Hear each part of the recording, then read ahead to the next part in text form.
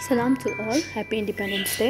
इस independence day पर मैं आपको एक मैसेज देना चाहती हूँ कि after the celebration of independence day अपने परचमों को इज़्ज़त दें और इनको इस्तेमाल के बाद महफूज बना दें और अगले साल इनको फिर इस्तेमाल कीजिएगा। बजाय इनके कि डस्टबिन में इनको फेंक के और गलियों में रुलने के लिए छोड़ दें। अगर आप अपने वतन की इज़्ज़त करते हैं तो अपने परचमों की भी लाजमी इज़्ज़त करें। और एक और ज़रूरी मैसेज ये है कि जो लाउड स्पीकर्स हैं लाउड हॉर्न्स हैं प्लीज़ उनका इस्तेमाल हॉस्पिटल्स वाली जगहों पर मत कीजिएगा। अगर आपको मैसेज पसंद आए तो लाइक कर दें।